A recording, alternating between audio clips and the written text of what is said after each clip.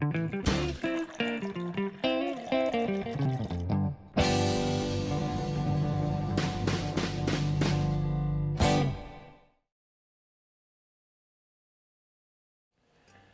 everyone, thanks for watching. Today we're going to be tasting the new Knob Creek Cask Strength Rye Whiskey. This is a limited release product from uh, Jim Beam.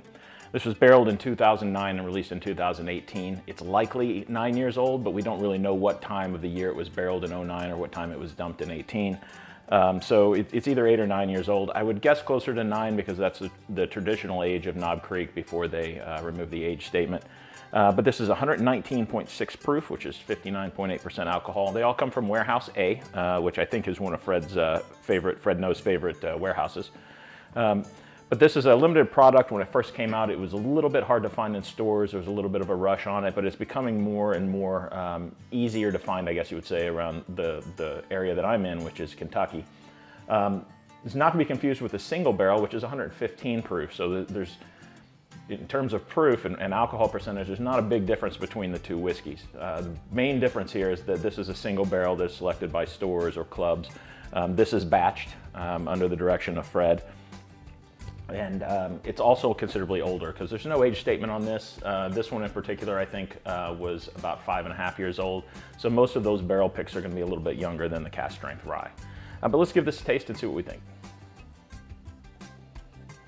Now, as you can see, I've, I've finished about half the bottle on this, so I, have tasted this before. Uh, the nose on this is, is, really nice. It's got a lot of uh, uh, sweetness up front because Kentucky ryes tend to have a very higher percentage of corn than Indiana rye. A lot of people are used to that 95% rye, 5% uh, malted barley mash bill from the Indiana rye.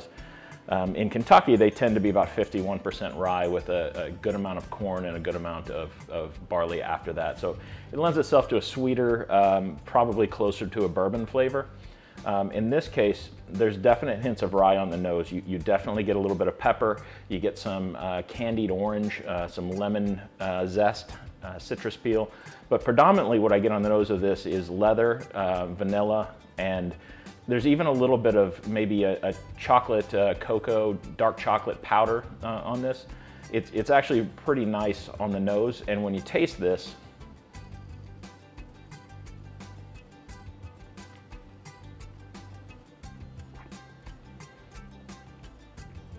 it definitely carries through.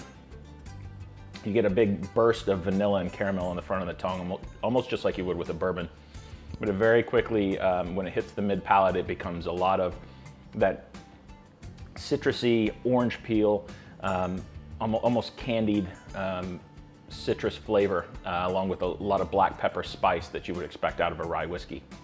Um, the back of the tongue, that, that leathery note kind of becomes more, more cocoa, more chocolate than, than leather.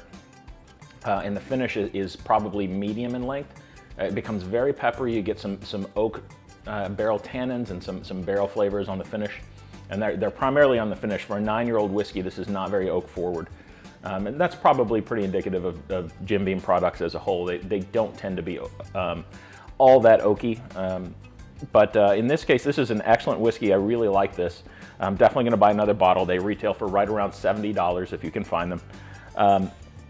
This is gonna score 92 on the Modern Thirst scale. Uh, you can uh, check out that out in all, all sorts of other whiskey reviews at modernthirst.com. If you like what we do, please consider supporting us on patreon.com slash modernthirst. And check us out. Uh, we, we're posting reviews pretty often, and uh, we cover everything from uh, bourbon and rye to scotch and world whiskeys. So uh, thanks for watching, and we hope you enjoyed.